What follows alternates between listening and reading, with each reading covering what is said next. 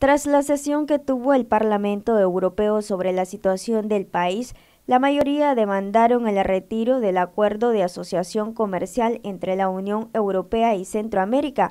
Para José Luis Velázquez, ex embajador de la OEA, afirma que esta situación vendría a aislar aún más el país. Explícitamente aplicando la cláusula democrática, porque el acuerdo tiene una cláusula democrática en la cual los países se comprometen a mantener los sistemas democráticos y la garantía eh, para todos los ciudadanos y es el caso de que Nicaragua no las ha cumplido, el gobierno de Ortega no las ha cumplido y por eso es que se solicita que se aplique esta cláusula.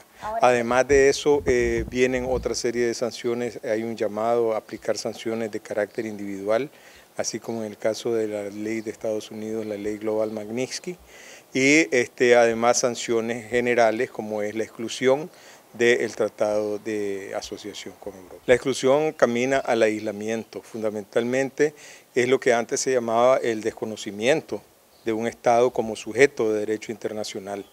Y el día en que ya eso termine de suceder, pues es el fin del gobierno porque queda completamente aislado de la comunidad internacional.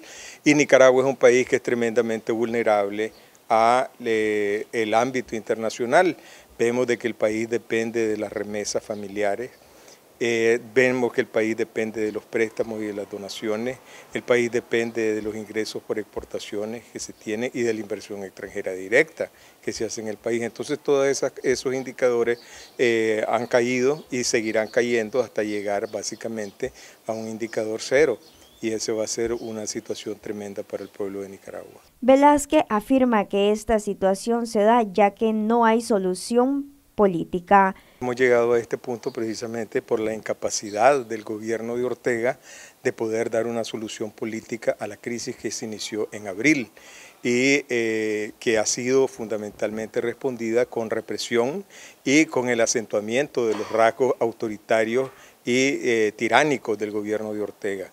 Precisamente por eso es que se ha ido siendo acreedor de estas sanciones y además eh, esto tiene un impacto directo sobre el pueblo de Nicaragua porque nos arrastra a todos en esta vorágine de irracionalidad.